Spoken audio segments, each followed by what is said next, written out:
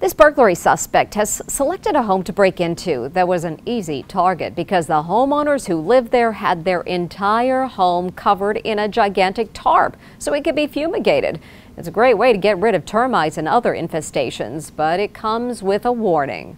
This burglar is so brazen, he flicks on the light switch. Why is he so bold? Because he knows nobody can see him. The homeowners say their house was an easy target because it's totally covered in a tarp. It's being fumigated for termites, and the windows were left open to air out the place. He came in through this window. You can still see all of like the police fingerprint dusting that's all over the sides here. Rob and Devon Dionne were staying at a hotel in Los Angeles during the three-day fumigation process when they woke up and saw a notification on their phone app about a break in. So I popped that video open and I just see somebody walking around the inside of the house. I was like, Devon, somebody's in our house. The burglar wearing a backpack shows up at 3:39 a.m. Check out what his shirt says. Security. When I saw the video, my stomach just went into one big knot. Yeah. You know, and it hurts. They say he went through every room in their house, finally packing up his loot and leaving the property about an hour later at 4:43 a.m.